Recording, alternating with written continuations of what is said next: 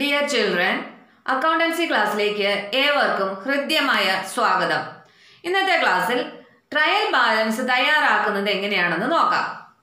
Preparation of trial balance a trial balance can be prepared in the following three ways താഴെ പറയുന്ന മൂന്ന് രീതികളിൽ trial balance തയ്യാറാക്കാം. First totals method second balances method third totals cum balances method first totals method അല്ലെങ്കിൽ ആകെ തുക രീതി. ഈ രീതിയിൽ ലെഡ്ജർ അക്കൗണ്ടുകളുടെ ഇരുവശങ്ങളിലെയും ഡെബിറ്റ് ക്രെഡിറ്റ് തുകകൾ പ്രത്യേകം കണ്ടെത്തുകയും ട്രയൽ ബാലൻസിന്റെ അതാത് കോളങ്ങളിൽ രേഖപ്പെടുത്തുകയും ചെയ്യുന്നു. ട്രയൽ ബാലൻസിലെ ഡെബിറ്റ് കോളത്തിലെ ആകെ തുക ക്രെഡിറ്റ് കോളത്തിലെ ആകെ തുകയ്ക്ക് തുല്യമായിരിക്കണം. കാരണം അക്കൗണ്ടുകളുടെ രേഖപ്പെടുത്തൽ ഡബിൾ എൻട്രി രീതിയെ അടിസ്ഥാനമാക്കിയുള്ളതാണ്. എന്നാൽ വിവിധ അക്കൗണ്ടുകളിലെ ബാലൻസുകളുടെ കൃത്യത ഉറപ്പുവരുത്തുന്നതിനും ഫിനാൻഷ്യൽ സ്റ്റേറ്റ്മെന്റുകൾ തയ്യാറാക്കുന്നതിനും സഹായകരമല്ലാത്തതുകൊണ്ട് ഇപ്പോൾ ഈ രീതി പ്രചാരത്തിലില്ല. അപ്പോൾ മൂന്ന് മെത്തേഡിൽ ടോട്ടൽസ് മെത്തേഡ് ഇത് അധികം നമ്മൾ യൂസ് ചെയ്യുന്നില്ല. നമ്മൾ യൂസ് ചെയ്യുന്ന മെത്തേഡ് ബാലൻസസ് മെത്തേഡാണ് എന്താണ് ബാലൻസസ് മെത്തേഡ് അഥവാ നീക്കിയിരിപ്പ് രീതി. ട്രയൽ ബാലൻസ് തയ്യാറാക്കുന്നതിന് സാധാരണയായി ഉപയോഗിക്കുന്ന രീതി ബാലൻസ് മെത്തേഡാണ് ഈ രീതിയിൽ എല്ലാ ലെഡ്ജർ അക്കൗണ്ടുകളുടെയും ബാലൻസുകൾ ട്രയൽ ബാലൻസിന്റെ ഡെബിറ്റ് ക്രെഡിറ്റ് കോളങ്ങളിൽ രേഖപ്പെടുത്തുകയും തുടർന്ന് ആ കോളങ്ങളുടെ ആകെ തുക കണ്ടെത്തി കൃത്യത ഉറപ്പുവരുത്തുകയും ചെയ്യുന്നു. ബാലൻസുകൾ അക്കൗണ്ടുകളിലെ ആകെ ഇടപാടുകളുടെ അന്തിമ ഫലത്തിന്റെ സംക്ഷിപ്ത രൂപം പ്രദാനം ചെയ്യുകയും അത് ഫിനാൻഷ്യൽ സ്റ്റേറ്റ്മെന്റുകൾ തയ്യാറാക്കുന്നതിന് സഹായകരമാവുകയും ചെയ്യുന്നതുകൊണ്ട് ട്രയൽ ബാലൻസ് തയ്യാറാക്കാൻ അക്കൗണ്ട് ബാലൻസുകൾ ഉപയോഗിക്കുന്നത്. ഇവിടെ ശ്രദ്ധിക്കേണ്ട ഒരു വസ്തുത ട്രയൽ ബാലൻസിൽ പണം തരാനുള്ളവരുടെ അക്കൗണ്ടുകൾ ഓരോന്നായി കാണിക്കുന്നതിന് പകരം ഡെറ്റേഴ്സ് എന്നും അതുപോലെ പണം കൊടുക്കാനുള്ളവരുടെ അക്കൗണ്ടുകൾ. കുറെ പേർക്ക് കൊടുക്കാനുള്ള കാണുമല്ലോ. അങ്ങനെ കൊടുക്കാനുള്ളവരുടെ അക്കൗണ്ടുകൾ ഓരോരുത്തരുടെയും വ്യത്യസ്തമായി കാണിക്കുന്നതിന് പകരം ക്രെഡിറ്റേഴ്സ് എന്നും രേഖപ്പെടുത്തി അവയുടെ ആകെ തുകയാണ് സാധാരണയായിട്ട് കാണിക്കാറുള്ളത്. ആ ഒരു മെത്തേഡാണ് ബാലൻസ് മെത്തേഡിൽ ഫോളോ ചെയ്യുന്നത്. ഇനി മറ്റൊരു മെത്തേഡ് എന്ന് പറഞ്ഞാൽ ടോട്ടൽസ് കം ബാലൻസസ് മെത്തേഡാണ് അതായത് ഈ രണ്ട് മെത്തേഡിന്റെയും കൂടി കമ്പൈൻ ചേർന്നിട്ടുള്ള ഒരു രീതി. ആകെ തുകയുടെയും നീക്കിയിരിപ്പിന്റെയും സംയുക്തമായിട്ടുള്ള ഒരു രീതിയാണ് ടോട്ടൽസ് കം ബാലൻസസ് മെത്തേഡിൽ വരുന്നത്. ആകെ തുക രീതിയും അതായത് ടോട്ടൽ മെത്തേഡും ബാലൻസസ് മെത്തേഡും കൂടി ചേർന്ന ഒരു രീതിയാണ് ഇത്. ഈ രീതിയിൽ തുകകൾ കാണിക്കുന്നതിന് നാല് കോളങ്ങൾ തയ്യാറാക്കുന്നു.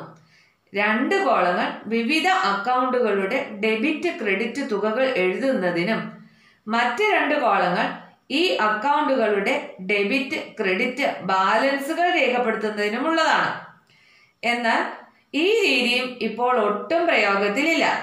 കാരണം ഈ രീതി കൂടുതൽ സമയം ആവശ്യമുള്ളതും അതുകൊണ്ട് പ്രത്യേകിച്ച് അധിക പ്രയോജനമൊന്നും ഇല്ലാത്തതുമാണ്. ഇതിൽ നിങ്ങൾ ഈ മൂന്ന് മെത്തേഡുകൾ ഏതൊക്കെയാണെന്നൊന്ന് നോട്ട് ചെയ്താൽ മതി. എക്സ്പ്ലനേഷൻ ഒന്നും ആവശ്യമില്ല. ഇനി നിങ്ങളുടെ ടെക്സ്റ്റിനകത്ത് ഇവിടെ ഒരു ഇല്ലസ്ട്രേഷൻ തന്നിട്ടുണ്ട്. കുറേ ലെഡ്ജർ അക്കൗണ്ടുകളുടെ ബാലൻസുകളാണ് ഇവിടെ തന്നിരിക്കുന്നത്. അതിൽ നിന്നും ട്രയൽ ബാലൻസ് ഈ മൂന്ന് മെത്തേഡിലും തയ്യാറാക്കുന്നതാണ് ഇതിനകത്ത്. പറഞ്ഞിരിക്കുന്നത്. ജസ്റ്റ് ഒന്ന് നോക്കിയേക്കുക കേട്ടോ. ഇപ്പം ട്രയൽ ബാലൻസ് ഇവിടെ ടോട്ടൽ മെത്തേഡിൽ ചെയ്തിരിക്കുന്നത്. അതുപോലെ ഇത് ബാലൻസസ് മെത്തേഡിൽ ചെയ്തിരിക്കുന്നത്. ഇതെന്ന് പറയുമ്പോൾ രണ്ട് മെത്തേഡും കൂടി ചേർന്ന്. കണ്ടില്ലേ? നാല് കോളമുള്ള രണ്ടിലെ കാര്യം രണ്ട് മെത്തേഡിലെയും കാര്യങ്ങൾ ഇതിന്റെ അകത്ത് വന്നിട്ടുണ്ടാവും. അപ്പോൾ ഈ മൂന്ന് മെത്തേഡിലും ചെയ്യുന്ന ഒരു രീതിയാണ് ഇതിനകത്ത് പറയുന്നത്. ജസ്റ്റ് ഒന്ന് നോക്കിയാൽ മതി കേട്ടോ. നമുക്ക് നമ്മളുടെ കെ ജി സി നാന്റെ ടെക്സ്റ്റിലെ ഒരു ക്വസ്റ്റ്യൻ വെച്ചിട്ട് നമുക്കൊരു ട്രയൽ ബാലൻസ് തയ്യാറാക്കുന്ന ഒരു ക്വസ്റ്റ്യൻ ഡിസ്കസ് ചെയ്യാം. നിങ്ങളുടെ ടെക്സ്റ്റിനകത്തെ പേജ് നമ്പർ സിക്സ് പോയിന്റ് ത്രീയിൽ ഇല്ലസ്ട്രേഷൻ വണ്ണ് അത് ചെയ്യുന്ന എങ്ങനെയാണെന്നൊന്ന് നോക്കാം. From the following transactions pass journal entries prepare ledger accounts and also prepare trial balance under both methods balance മെത്തേഡിലും total മെത്തേഡിലുമാണ് ഇതിനകത്ത് പറഞ്ഞിരിക്കുന്നത്. രണ്ട് മെത്തേഡിലും ഒരൊറ്റ ക്വസ്റ്റ്യൻ നമുക്ക് ചെയ്യുന്നതെന്ന് നോക്കാം.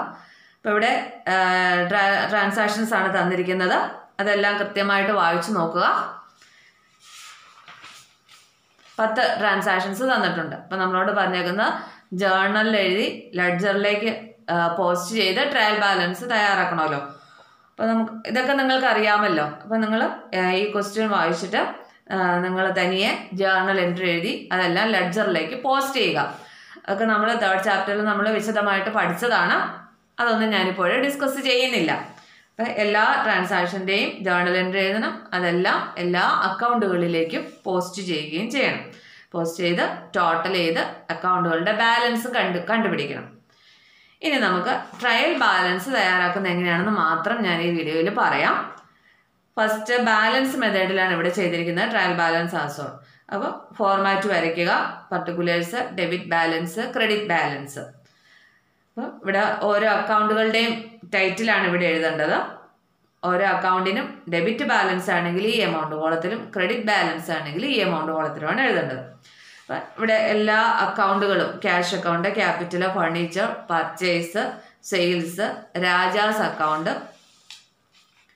സോമൂസ് account rent account commission account ഇപ്പം എല്ലാ അക്കൗണ്ടുകളുടെയും ടൈറ്റിൽ എഴുതിയിരിക്കുന്നു. ഇനി ബാലൻസ് മെത്തേഡ് ആയതുകൊണ്ട് ആദ്യം ചെയ്തിരിക്കുന്ന ബാലൻസ് മെത്തേഡിലാണ് ഇപ്പം എന്താ എങ്ങനെയാണ് ബാലൻസ് എടുത്ത് എഴുതുക എന്ന് പറയുന്നത്? നമ്മളത് നേരത്തെ ചെയ്തിട്ടുള്ളതാണ്. എങ്ങനെയാണ്?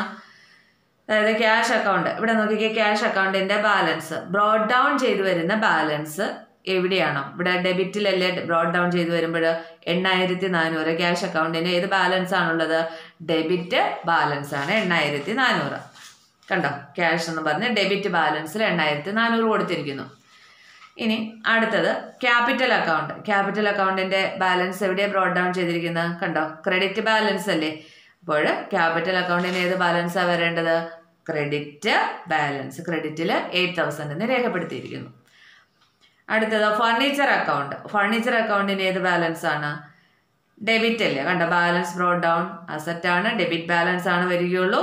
ഡെബിറ്റ് ബാലൻസ് ആണ് തൗസൻഡ് ഫർണിച്ചറിന് തൗസൻഡ് ഡെബിറ്റ് ബാലൻസ് രേഖപ്പെടുത്താം. നെക്സ്റ്റ് പർച്ചേസ് പർച്ചേസ് എന്ന് പറയുന്നത് എന്താണ്? എക്സ്പെൻസ് ആണ്. പർച്ചേസ് എന്ന് പറയുമ്പോഴത്തേക്കിനും അവിടെ ഏത് ബാലൻസ് വരികയുള്ളൂ? ഡെബിറ്റ് ബാലൻസ് ആണ്. അപ്പോൾ എത്രയാണ്? ടെൻ തൗസൻഡ് പർച്ചേസ് എന്ന് പറഞ്ഞുകൊണ്ട് കണ്ടോ? ഡെബിറ്റ് ബാലൻസ് ആണ് ടെൻ തൗസൻഡ് രേഖപ്പെടുത്തിയിരിക്കുന്നു സെയിൽസ് സെയിൽസിന് ക്രെഡിറ്റ് ആണ് വരികയുള്ളൂ. ട്വൽവ് തൗസൻഡ് ആണ് ബാലൻസ് സെയിൽസ് ട്വൽവ് തൗസൻഡ് അപ്പോൾ നമ്മൾ ഈ അക്കൗണ്ടുകളൊന്നും ബാലൻസ് ചെയ്യേണ്ട ആവശ്യമില്ല. ടോട്ടൽ ചെയ്ത് ഇട്ടാൽ മതി. അതൊക്കെ നേരത്തെ പറഞ്ഞു തന്നിട്ടുള്ളതാണല്ലോ. അപ്പോൾ ഇവിടെ ക്രെഡിറ്റ് സൈഡാണ് കൂടുതൽ. അപ്പോൾ ടോട്ടൽ ചെയ്യുമ്പോൾ ഇവിടെ ഇവിടെ ടോട്ടൽ ചെയ്തു. ബാലൻസ് ചെയ്ത് ഇവിടെ വന്ന്. ബാലൻസ് ബ്രോഡ് ഡൗൺ ചെയ്യുമ്പോൾ ക്രെഡിറ്റിലാണ് വരുന്നത്. അതറിയാമല്ലോ അതുകൊണ്ടാണ് ഞാനത് പറയാത്തത് കേട്ടോ. പിന്നെ രാജാസ് അക്കൗണ്ട് രാജാസ് അക്കൗണ്ടിന്റെ ഏതാണ് ബ്രോഡ് ഡൗൺ ചെയ്യുന്ന ബാലൻസ് പറയുന്നത്? ഇതല്ലേ. ആയിരത്തി അഞ്ഞൂറ് ക്രെഡിറ്റ് ബാലൻസ് ആണ്. കണ്ടോ? രാജാസ്. അതായത് രാജ ആരായിരിക്കും? സൺട്രി ക്രെഡിറ്റർ ആയിരിക്കും അല്ലേ? രാജാസ് അക്കൗണ്ട് എന്ന് പറഞ്ഞ് ട്വൽവ് തൗസൻഡ് കാണിച്ചിരിക്കുന്നു. ഇനി സോമൂസ് അക്കൗണ്ട് സോമുവിന്റെ അക്കൗണ്ടിന്റെ ബാലൻസ് എത്രയാണ്? കണ്ടോ? ഡെബിറ്റ് ബാലൻസ് ആണ് ടു തൗസൻഡ് അതായത് സൺഡ്രി ഡെറ്റർ ആയിരിക്കും. നമുക്ക് പൈസ തരാനുള്ള ആളാണ്. കണ്ടോ? സെയിൽസ് നടത്തിയതാണ്. സെയിൽസ് നടത്തിയപ്പോൾ ബിസിനസ്സിലേക്ക് പൈസ കിട്ടാനുള്ളതാണ് അല്ലേ? എന്ന് പറയുന്നത് സൺഡ്രി ഡെറ്റർ ആണ് ഡെബിറ്റ് ബാലൻസ് ആണ്. കണ്ടോ? പിന്നെ റെന്റ് എക്സ്പെൻസ് ആണ് ഡെബിറ്റ് ബാലൻസ് ആണ്. കണ്ടോ? ടു ഹൺഡ്രഡ് കമ്മീഷൻ ഇവിടെ ഇൻകം ആണ്. അതുകൊണ്ട് ക്രെഡിറ്റ് സൈഡിൽ കമ്മീഷൻ എന്ന് പറഞ്ഞ ക്രെഡിറ്റ് സൈഡിൽ ക്രെഡിറ്റ് ബാലൻസ് വന്നിരിക്കുന്നു. ഇങ്ങനെ ബാലൻസ് മെത്തേഡിൽ എല്ലാ ബാലൻസുകളും എന്ത് ചെയ്യുന്നു? എഴുതിയിരിക്കുന്നു. ഡെബിറ്റ് ബാലൻസ് ഡെബിറ്റ് കോളത്തിലും ക്രെഡിറ്റ് ബാലൻസ് ക്രെഡിറ്റ് എമൗണ്ട് കോളത്തിലും രേഖപ്പെടുത്തിയിരിക്കുന്നു. ഇനി അത് രണ്ടും ടോട്ടൽ ചെയ്യുക.